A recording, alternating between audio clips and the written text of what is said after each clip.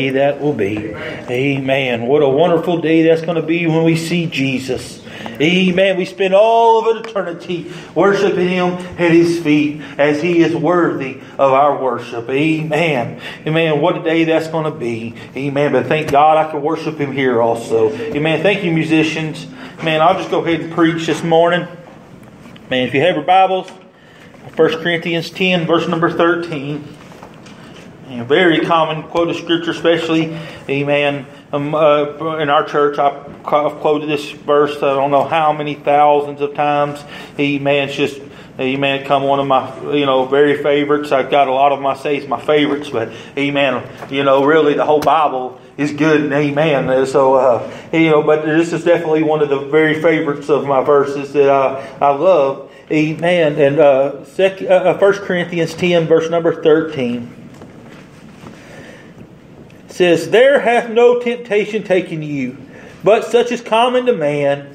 But God is faithful, who will not suffer you to be tempted above that ye are able, but will with the temptation also make a way to escape, that ye may be able to bear it. And if you and uh, turn with me to uh, uh, 2 Peter chapter 2, verse number 9. 2 Peter 2 and 9.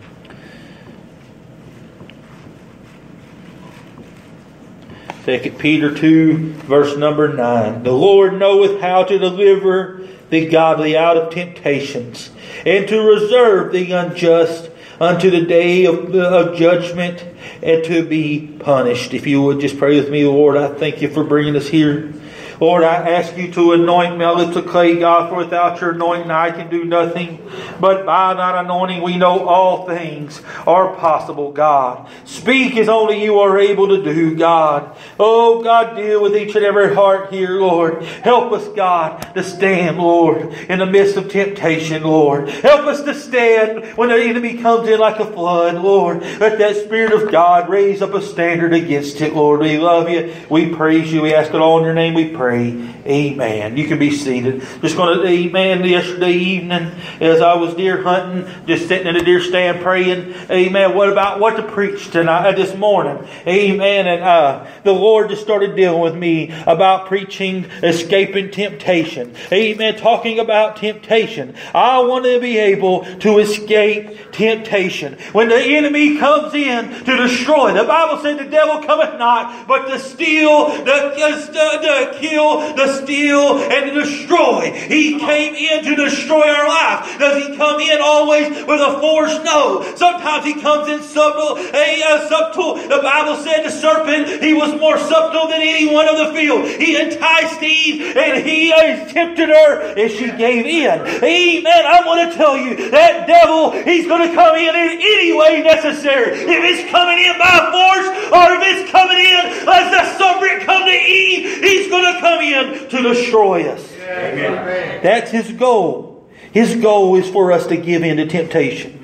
Amen. Amen. Is it a sin to be tempted? No. It is not a sin to be tempted. Some may, th- may mistakenly think that, that we preach this. No, it's not a sin to give in to temptation. James, uh, James 1.13, let no man say when he is tempted, I am tempted of God. For God cannot be tempted with evil, neither tempted him any man. But every man is tempted when he is drawn away of his own lust and enticed. Then when lust lust hath conceived, it bringeth forth sin, and when sin is uh, is uh, is finished, bringeth forth death. Amen. I do believe, as it says in James, I believe it's when they are enticed and they're drawn away by their own lust is when sin is brought. Amen. Sure, every single Christian will be tempted. The Bible says, count it all joy when you fall into divers temptations. We be tempted. The text that I read to you, that I read often to you, there hath no temptation taken you but to such is common to man. It is common for us to be tempted. As a Christian, you're going to be tempted probably most of the time on a daily basis. You're going to be tempted with sin. But I'm going to tell you, you can escape that temptation. Amen. I'm going to tell you on a regular basis, the devil comes at me, wanting to destroy me. Amen. Tempts me and tries to entice me. Amen. By the, by the wicked things of this world. Not only the wicked things of this world, but he tries to entice me on doing, uh, giving up on that. Amen. Which I know God has called me to do. But I, the Bible says, give no place to the devil. We are to give no place unto what the devil tells us. Just the devil tells us that, we should do the very opposite. That's right. Amen. If the devil tells me to quit pastoring, guess what? I need to buckle down. Amen. And uh, stay committed unto what God has told me to do. Yeah. Till God tells me something different, that's what I must do. Right. Amen. So it said, but God is faithful, who will not suffer us suffer you to be tempted above that which you are able. He is faithful. He is faithful to help us through this. Amen. But will that temptation make a way to escape that ye may be able to bear? What is that way? That way is Jesus. He is that way of escape. If we keep our lives in Christ, amen, we can escape temptation every single time. But this the the complete opposite. Amen. If we try to do things any other way, the Bible said if any man try to come any other way, he's a thief and a robber. If we try to do things any other way, but through Jesus, it is futile to do so, and we will give in to temptation. We will fall into temptation and fall into sin every single time if we try to do it any other way but through Jesus Christ.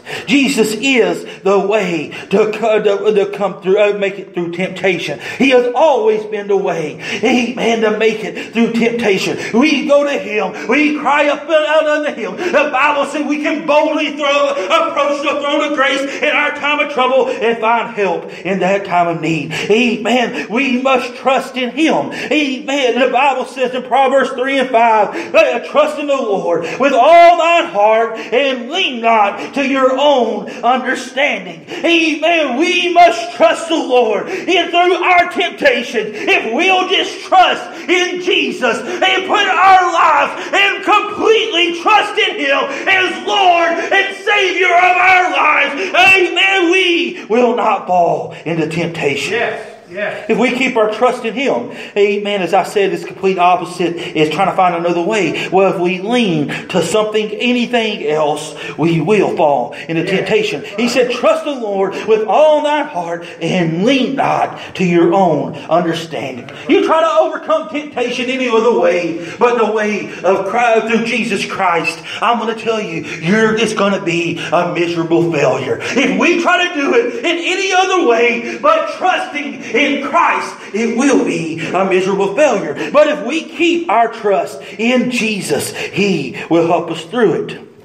Trusting in God's Word. Amen. Or how are we going to trust in God with unless we trust in His Word? Amen. I do believe it said, live by every word that proceedeth out of the mouth of God. This King James Bible is every word that proceedeth out of the mouth of God. If I'm going to trust in Him, I'm going to have to trust in His Word. Proverbs 30 and 5 says, every word of God is, uh, is pure. He, he is a shield unto them that put their trust in Him. Amen. Because the Word of God says so. He is that shield. We must put our faith and our trust in Him and His Word. If we do it any other way but the prescribed way in His Word, it is a miserable failure. Amen. I'm going to tell you, if I try to pastor a church any other way, amen, uh, and try to overcome that temptation to, to quit, the devil, sure the devil's going to tempt me. I don't give no second thought to what the devil tells me.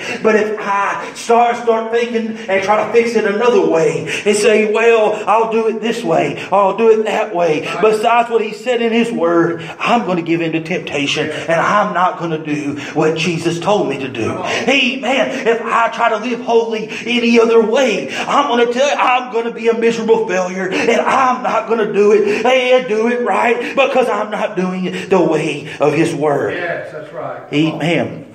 So we can overcome temptation in this. If we'll trust in Him and His Word. Amen. By walking in the Spirit, I'm going to tell you, if you walk in the Spirit, Amen. Galatians 5.16, another one we read all the time. I've got a lot of verses that we quote all the time in this, but it says this, I say then, walk in the Spirit and ye shall not fulfill the lust of the flesh. I'm going to tell you, if we stay walking continuously in His Spirit, Amen, we're not going to give in to temptation. If we completely completely trust Him and be full of His Holy Ghost and walk by the Spirit and not by the flesh, we will make it unto the end. We will be of them that endure to the end that is saved in the end. Amen. Amen. We will be of them if we'll just stay walking in the Spirit. As I've talked about the contrary, the complete contrary is walking by our flesh. If we walk by our flesh, we do things the way we want to do it. Amen. I say, I'm going to fix it this way. That's why you see that the every 12 step program, amen, is a miserable failure. But amen, we must put our trust in Him and walk in His Spirit, and that's how we're going to live free from sin. That's right. Amen. Of course, when people says, "Amen," Brother Cole t- said it the other day. Oh, here a while back in Bible study, what Brother Charlie always said: people don't. Hey, people that says they can't live sin free, they probably really can't because they're not walking in the Spirit. But if we'll walk in the Spirit, we can live completely free from sin through Jesus Christ, our Lord. Amen. If we just stay in the Spirit and not walk in the flesh. Amen. I want to walk, I want to live free from sin. So if I just stay in the Spirit, I'm not going to live in sin. Amen. Amen. The Bible said to be carnally minded is death, but to be spiritually minded is life and peace. If we look at it with a carnal mind, we're going to fall into temptation every single time. But if we keep a spiritual mind, amen, we will, but we will be able to overcome temptation through Jesus. Amen. That, that's only by walking in His Spirit. If we keep our mind under subjection to the Holy Ghost, Amen. Don't keep your mind under subjection to what everybody else says. Keep your mind under subjection yeah. to what the Spirit tells you. The Spirit tells me that the Bible says He comes, He will not come speaking of Himself, but He'll come testifying of Him. He will point you to Jesus Christ every single time and what it takes to walk perfect yeah. in His sight. Thank you, God. That's what I want to do. I want to walk in the Spirit and not by the flesh. Amen. I don't want to lean, as I said, to my own understanding, but I want to walk complete subjection to the Holy Ghost. Amen. Through prayer Amen. Matthew 26, 41. Watch and pray that ye enter not into temptation. The spirit is indeed willing. Talking about the spirit again. But the flesh is weak. The spirit is willing. Amen. So we must walk in the spirit. But it said, watch and pray that ye enter not in to temptation. We must watch and pray. Is that just kneeling down, and eh, just kneeling down every day and just talking? Amen. Just to talk. No. That is touching Jesus. Jesus, calling out to Him with a sincere, broken, and a contrite spirit. If we call on Him with a broken and a contrite spirit, the Bible said He will not turn us away. Yes. Yes. Amen. I must call on Him with my whole heart. Without uh, prayer, I will immediately fall into temptation. If I refuse to call upon Him, amen, I'm going to fall into temptation every single time. Amen. As I said, it's not a sin to be tempted, but it's a sin to give in to that. What should we immediately do when we go and uh, when we are tempted? It is call upon the Lord. Amen. And I'll get to, we should call on our brother and our authority, and I'll get to that in a moment. But the first thing we should do is call upon the Lord. Call upon Him and He will help us in that time of trouble. Thank God. Thank God for that. I thank God He's made a way of escape for me. And that way of escape is Jesus. And how are we going to make it through that if we don't call upon Him? Amen. I want to call upon Him in that struggle. Amen. A love for Jesus Brother Nathaniel, I'm not, uh, amen, I've got the same verse here, but he preached it so well the other, uh, on Sunday night.